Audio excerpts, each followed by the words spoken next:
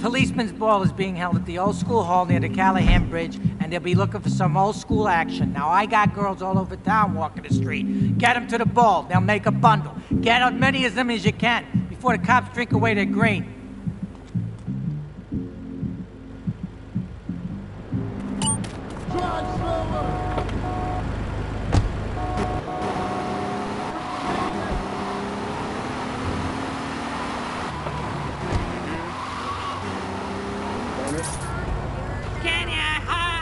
About you.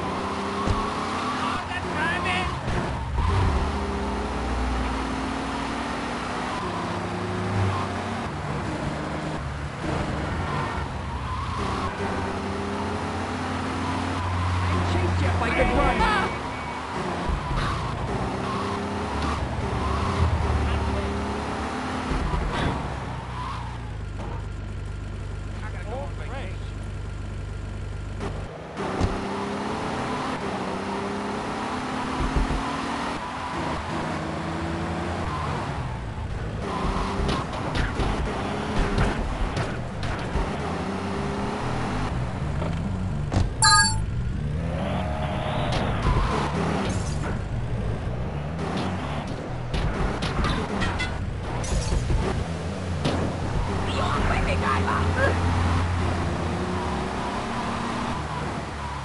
in your freaking eye!